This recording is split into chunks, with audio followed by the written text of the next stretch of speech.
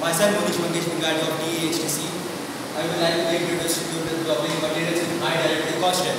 So what is dielectric constant? Dielectric constant is the relative permittivity of the dielectric container. So it is the important parameter in characterizing capacitance. It is a simple K is used for Coulomb's constant. So these are the dielectric constant.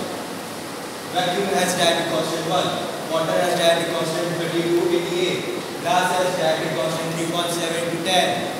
PTFE has dielectric constant 2.1. Polyethylene has dielectric constant 2.25. Polyimide has dielectric constant 3.4. Polypropylene has dielectric constant 2.2 to 2.36. Polystyrene has dielectric constant 2.4 to 2.7. Titanium dioxide has dielectric constant 86 to 173. Strontium titanate has dielectric constant 310. Barium strontium titanate Barium titanate has dielectric constant 150 to 10,000. Conjugate polymers have constant 1.8 up to 1 lakh. Calcium copper titanate has dielectric constant 2 lakh 50,000.